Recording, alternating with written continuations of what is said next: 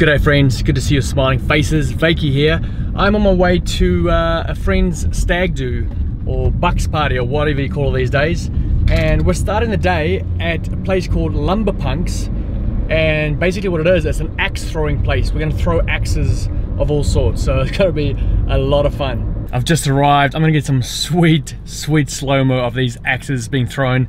Um, before I go, I had an amazing chat with my brother-in-law this week about a concept and mindset that I want to share with you guys. It's around who you are versus what you do and where you place your identity. It's such a simple thought and it makes so much sense when you think about it and talk about it.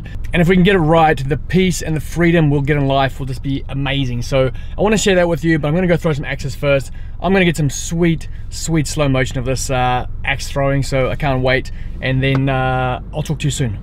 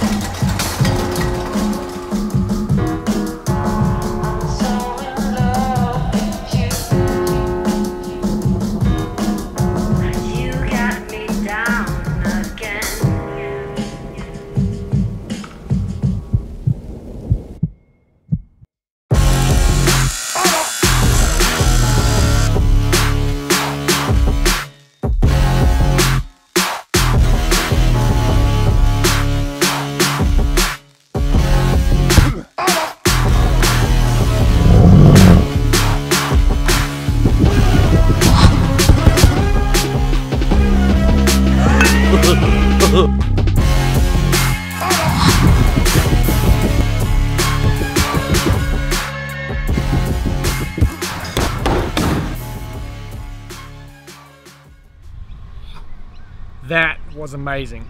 I enjoyed that a lot. In fact, I'm seriously considering installing a axe throwing lane at my office. There's room for it. There's room. I think we can make it happen. That would be insane, eh? Having an axe throwing lane at your office. Whenever you need to release some tension, you just biff an axe at a wall. Brilliant. Brilliant. So it's Monday afternoon now. The axe throwing was on Saturday, so this is being shot way late. I actually tried to shoot this piece yesterday and failed miserably. Just trying to overthink the concept. It's a very simple but very profound concept, and I think I'm just trying to over over communicate it. So I'm going to try something different. I've got some paper and pen. I'm going to put the camera up high and try and try and shoot it down on the paper, and I'll draw it out. And that way, there's some visuals for you to see, so it'll make more sense and make it easier for me to explain as well. So let me put you up there, and we'll give this a shot.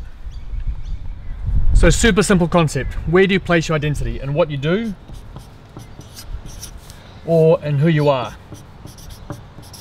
Can you guys see me? So if you place your identity and what you do, wherever you place your identity, that's your input. And then the other side will be the output. So who you are will become a result of what you do. So ideally you want to flip this around. We want to go, I find my identity in who I am and not in what I do. Identity. And this is where I input. I input into who I am, not what I do. And then what I do becomes the outcome or kind of the output as a result of who I am. Input equals pressure, which is a good thing. Output equals stress, not a good thing. Why do things always make so much sense when you're talking about them in the moment and discussing them, and then when you try and retell it or like explain it, it just doesn't come out the same. But I hope that makes sense to some degree and help someone. It really helped me. Think about it though, when you meet someone new, what do they ask you? They don't ask you, hey, who are you? And then you go, I'm strong, I'm independent, I'm a good friend, I'm faithful, I'm trustworthy. No, that's not how it goes. What they ask you is, you know, you introduce yourself and they go, so what do you do?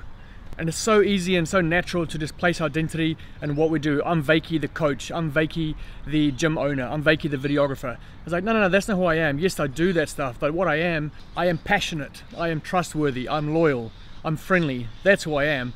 And then, yes, I am a coach or I do own a gym, but that's not where my identity is placed. So that was the first realization I had is that I have to start putting my identity in who I am and not what I do. The second thing is input versus output. One thing my brother-in-law explained to me is that input equals pressure in a good sense. Pressure is what produces the gold. Output equals stress. If you focus on the output, uh, you'll get stressed because you can't change the output until you change the input. So it's important to apply pressure to improve but you want to make sure you apply that pressure to the right input. Not the input into what you do but the input into who you are.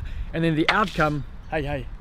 And then the output what you do will take care of itself. Anyway I'm gonna stop trying to explain that. I'm sure I got my point across somehow. I've got to go and upload this and then film something else for tomorrow. So I'm gonna say goodbye and make sure you hit that like button if you like this. How good was that little axe throwing video? You gotta like it, surely. Uh, if you're not subscribed yet, please subscribe. I'm trying to get to 500 subscribers. That's my next goal. We're around the 120, 122 mark, which is awesome. For everyone that watches, I love you. Thank you so much, and I'll see you tomorrow. Bye.